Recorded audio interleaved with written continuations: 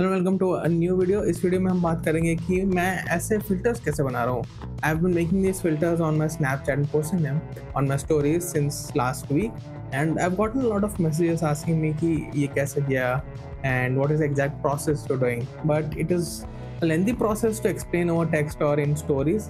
तो मैंने सोचा video will be more suitable for this kind of thing. So a quick video covering all the basic process of how I'm making these. Okay. So, all this I'm making using the Gen AI suite.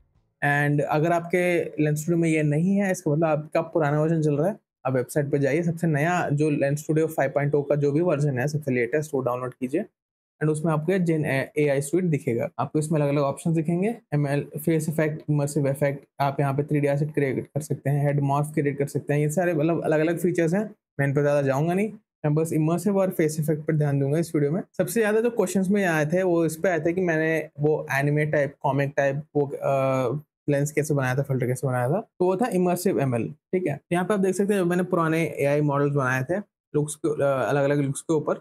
यहाँ पे already available हैं तो मैं यहाँ पे text में जाऊँगा, और मैं यहाँ पे कुछ भी टाइप कर दूँगा जैसे हेलोवीन या फिर अगर आपके पास कोई प्रॉम्प्ट नहीं है दिमाग में यहाँ पे सरप्राइज़ मी पे क्लिक कर सकते हैं। And it will give you any random prompt for example ये हो गया and if I click on generate will start generating a preview model इसको आप अभी यूज़ नहीं कर सकते लेकिन आपको ये एग्ज़ाम्पल इमेजेस दिखा देगा कि what will the end result look like इसको होने में कुछ 10-15 मिनट लगेंगे और होने के बाद आपको कुछ ऐसा मिलेगा फॉर एग्ज़ाम्पल अगर मैं ये वाला खोलता हूँ यहाँ पे भी मैंने एक रैंडम प्रॉम्प्ट डाला था और ये मेरे पास रिजल्ट्स आए थे ऐसे अलग अलग रिजल्ट्स आए थे और अगर आपको ये रिज़ल्ट अच्छा लगता है यहाँ पे आप क्रिएट मॉडल पर क्लिक कर सकते हैं क्लिक करने के बाद इसको बनने में कम से कम दस घंटे लगेंगे कि आप इसको क्लोज कर दीजिए कोई बात नहीं। आप लेंस स्टूडियो क्लोज कर दीजिए आपको प्रोजेक्ट सेव करने की ज़रूरत भी नहीं है। अब बाद में आके जैसे यहाँ पे हुआ था पहले आ, ये ले लीजिए फॉर एग्ज़ाम्पल एक बार मॉडल ट्रेन हो गया तो आप यहाँ पे इम्पोर्ट प्रोजेक्ट सेलेक्ट कर सकते हैं। तो ये अपने आप इम्पोर्ट होके अप्लाई भी हो जाएगा आपको कुछ करने की ज़रूरत नहीं है। देखिए यहाँ पे अप्लाई हो गया। लेकिन अगर आप चाहते हैं फॉर एग्ज़ाम्पल इमेजिन कि अगर आप इसमें कोई भी चीज़ ऐड करना चाहते हैं टेक्स्ट या इमेज या कुछ भी फॉर एग्ज़ाम्पल मैं यहाँ पे कोई विजुअल इफ़ेक्ट ऐड कर देता हूँ एच मान लीजिए। तो क्या होगा, वो इसमें दिखेगा नहीं। क्यों नहीं दिखेगा? क्योंकि रेंडर ऑर्डर काफ़ी इंपॉर्टेंट है इसमें। तो मैं यहाँ पे जाऊँगा एच डिटेक्शन में या फिर कैमरा में ही जाऊँगा, यहाँ पे रेंडर ऑर्डर है। तो मैं इसको टू कर देता हूँ। तो यहाँ पे आ जाएगा। तो मैं यहाँ पर सेटिंग ऐसी कर रहा हूँ कि ये पहले रेंडर हो, जो जो भी हमने एआई वाला लुक डाला है, वो पहले रेंडर होगा।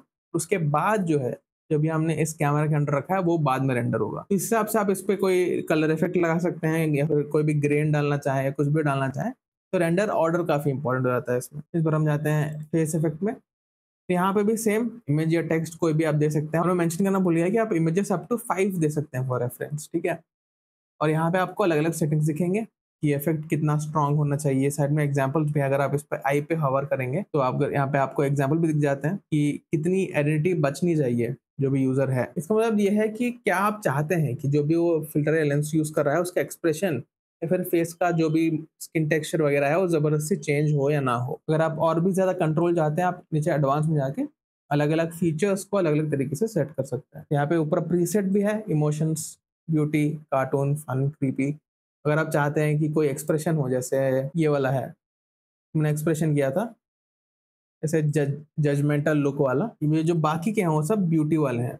कि फॉर एग्जांपल ये हो गया। ब्यूटी इफ़ेक्ट है। यहाँ पे आपको एग्जांपल देखने को मिलता है। बिफोर आफ्टर नीचे राइट राइट बॉटम में। यही यहाँ पे सेम आप ट्रेन करेंगे। ट्रेन करने के बाद यहाँ पे इंपोर्ट देखेगा, आप इसको इम्पोर्ट कर सकते हैं। तो ये था काफ़ी सिंपल सा ओवरव्यू कि आप जेन आई स्वीट को यूज़ करके फेस इफ़ेक्ट और इमर्सिव इफ़ेक्ट कैसे बना सकते हैं। And please like subscribe and share and next one